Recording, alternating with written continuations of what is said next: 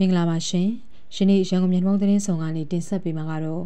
ရွှေကုံစေတော်မြတ်ကြီးလုံးတော်ပြည်ရွှေသင်္ကန်းတော်ကက်လူပူဇော်နိုင်ရေးလုပ်ငန်းညှိနှိုင်းစည်းဝေးကျင်းပတဲ့သတင်းဖြစ်ပါတယ်ရွှေကုံစေတော်မြတ်ကြီးလုံးတော်ပြည်ရွှေသင်္ကန်းကက်လူပူဇော်ရေးဩဝါဒစီရဆရာတော်ကြီးများထံမှဩဝါဒခံယူပွဲအခမ်းအနားကိုစက်တင်ဘာ14ရက်နေ့နေ့ပိုင်းက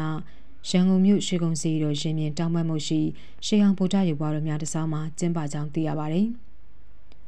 အခမ်းအနားသို့ရွှေကုံစေတော်ဗန္နာတော်ထိန်ကောပကဖွဲ့ရဲ့ဩဝါဒစရိယဆရာတော်ကြီးများကြောက်တော်မူကြပြီးရန်ကုန်တိုင်းဒေသကြီးအစိုးရဖွဲ့ဝင်ကြီးချုပ်ဦးစိုးသိန်းသာသနာရေးနှင့်ယဉ်ကျေးမှုဝင်ကြီးဌာနဒုတိယဝင်ကြီးဦးဝေထွန်းတိုင်းဒေသကြီးအစိုးရဖွဲ့ဝင်ဝင်ကြီးများအပြည်ပြည်ဆိုင်ရာထေရဝါဒဗုဒ္ဓသာသနာပြုတက္ကသိုလ်ဒုတိယပါမောက္ခချုပ်စီမံနှင့်ဌာနဆိုင်ရာတာဝန်ရှိသူများဂောဘကအဖွဲ့ဝင်များနှင့်ဂောဘကရုံးဝင်နှန်းများတက်ရောက်ကြည်ညိုကြပါသည်။ ဦးစွာရွှေကုံစီတော်ဗန္နာတော်ထိန်ကောပကဖွဲ့ရဲ့ဩဝါဒစရိယာနိုင်ငံတော်ဩဝါဒစရိယာအဘိဓဆမဟာရထဂုရုအကမဟာပန္နိတဗတ္တနာတီလောကဘိဝင်သားထံမှအပရိသတ်များကငါးပါးသီလခံယူစောင့်တည်ကြပါတယ်။အဲဒီနောက်သာသနာရေးနှင့်ယဉ်ကျေးမှုဝင်ကြီးဌာနပြည်ထောင်စုဝင်ကြီးကိုစားဒုတိယဝင်ကြီးဦးဝေထွန်းက2024-2025ခုနှစ်အတွက်ရှေးကုံစီတော်မြတ်ကြီးလုံးတော်ပြည့်ရှေးသင်္ကန်းကတ်လူပူဇော်ရေးနှင့်ဆက်လင်း၍ဩဝါဒခံယူခြင်းစာတမ်းကိုဖတ်ကြားလျှောက်ထားပါတယ်။ အဲဒီနောက်ရွှေတကွန်စေတော်ဘန္နာတော်ထိန်ကုတ်ကအဖွဲ့ရဲ့ဩဝါဒစရိယဆရာတော်ကြီးများကဩ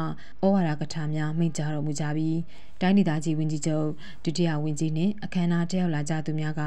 ဆရာတော်ကြီးများထံလူပဲဝတ္ထုပစ္စည်းများဆက်ကပ်လူတင်ကြပါတယ်။ဆက်လက်ပြီးရွှေတကွန်စေတော်ဘန္နာတော်ထိန်ကုတ်ကအဖွဲ့ရဲ့ဩဝါဒစရိယဒေါက်တာဘတ်တနာအကာတာမီထံမှအနုမောဒနာတရားနာကြားကလူဒန်းမှုအစုစုအတွက်ရေးဆက်သွန်းလောင်းအမျှပေးဝေကြပါတယ်။ အဲဒီနောက်2024-2025ခုနှစ်ရွှေကုံစေတော်မြတ်ကြီးလုံတော်ပြည့်ရွှေသင်္ကန်းတော်ကတ်လူပူဇော်နိုင်ရေးလုပ်ငန်းညှိနှိုင်းစည်းဝေးကို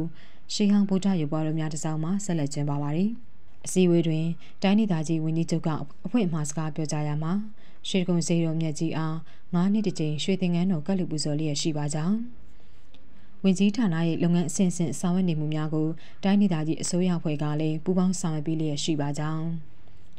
ရှေကုံစီတော်မြတ်ကြီးဟာကမ္ဘာအံ့မွေတကူကြီးဖျားဖြစ်လို့သာသနာတော်ကြီးတိုးတက်ဖွံ့ဖြိုးစေရန်တိုင်းဒေသကြီးအစိုးရအနေဖြင့်အစဉ်အမြဲဆောင်ရွက်လျက်ရှိပါကြောင်းရွှေကုံစီတော်ဂောဘကအဖွဲ့သည်လည်းလုပ်ငန်းအတွေ့အကြုံကောင်းများရှိတဲ့အပြင်ရွှေပြားများကိုနိုင်ငံတော်ကတက်တာတဲ့စိန်နှုံများဖြင့်ရောင်းချပေးလျက်ရှိပါကြောင်း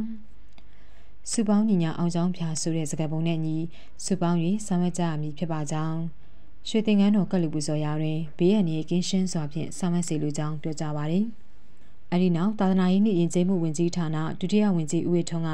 ရှေကုံစေတော်မြတ်ကြီးလုံးတော်ပြည့်ရွှေသင်္ကန်းကတ်လူပူဇော်ရန်လုပ်ငန်းများရာထားသတ်မှတ်မှုများကိုပြောကြားပါရယ်။အဲဒီနောက်ရှေကုံစေတော်ဘန္နာတော်ထိန်ကောပကအဖွဲ့အလက်ကျတပါပတိဦးမျိုးအောင်ထေက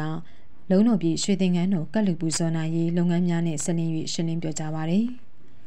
အဲဒီနောက်တယောက်လာကြသူများကအထွေထွေကိစ္စရပ်များကိုဆွေးနွေးတင်ပြကြပြီးတိုင်းဒေသကြီးဝန်ကြီးချုပ်နှင့်ဒုတိယဝန်ကြီးတို့ကဖြည့်ဆွတ်ညှိနှိုင်းဆောင်ရွက်ကြကြောင်းသိရပါတယ်။အဲဒီနောက်တိုင်းဒေသကြီးဝန်ကြီးချုပ်ဒုတိယဝန်ကြီးနှင့်တာဝန်ရှိသူများဟာရွှေကုံစေတော်မြတ်ကြီးလုံးတော်ပြည့်ရွှေသင်္ကန်းတော်ကတ်လူပူဇော်ရန်ရထားတဲ့ရွှေပြားနမူနာများအားကြည့်ရှုပြီးရွှေကုံစေတော်အထက်ပစ္စယံတို့တယောက်က